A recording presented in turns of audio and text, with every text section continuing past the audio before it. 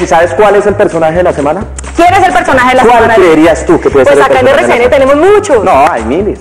Pero uno que está haciendo un papelón, pues, con ¿Dónde está Lisa? Que yo amo ¿Dónde está Lisa? Ah, claro, legal. ¿Eh? Sí, ¿Cómo, cómo, Claro. cómo sería el perfil de este actor de nuestra tele? ¿Cómo Sería la un escena? poco grande, ¿Cuál es la escena?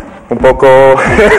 La escena. tuya, la que Una fiesta de 80 personas donde nadie vio nada. Ahí está, el perfil de Jorge Enrique Abello. Véanlo.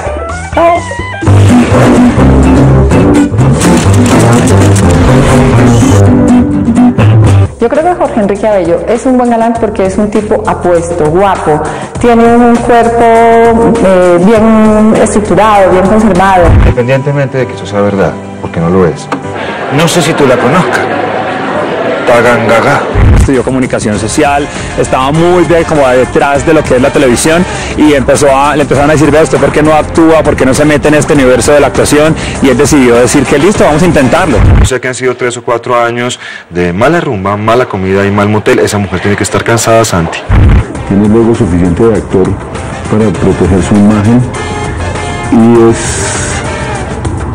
por su conocimiento que tiene eh, muchas formas de resolver una escena. Entonces usted no supo qué hacer, trató de maniobrar, mirar, no pudo y lo estrelló, ¿verdad? Es un tipo que estudia los personajes, que los arma, es bastante obsesivo con eso. Para un actor como Jorge Enrique, hacer varios personajes fue como varios peldaños en su carrera hasta que llega Betty la Fea.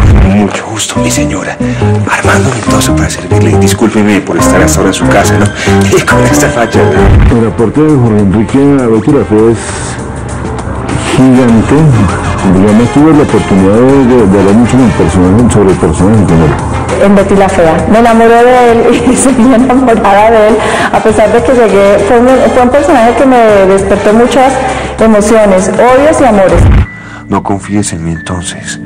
Pero déjame tomarme los whiskies que yo quiera. La prensa, hace poco estuve en Nueva York, lo, lo siguió reconociendo como un gran actor. Tiene funda roja en muchos eventos a los que no hemos llevado muchos colombianos. Creo que a los, a los colegas les puede aportar mucho, ¿no? Porque él es una persona amable, por ejemplo, en el CED es, un actor amable, es un actor que ayuda mucho a su compañero, a sus compañeros.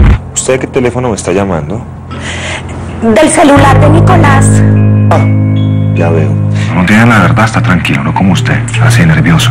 Nada, sigue siendo así, estudioso, pilo como eres, creciendo y sobre todo siendo el gran amigo que eres. Que nos siga divirtiendo y entreteniendo y, y llenando con su vida actoral, con sus personajes. El mensaje sería una felicitación, el agradecimiento por todo lo que nos ha dado en la televisión colombiana. Que aprenda a jugar ajedrez.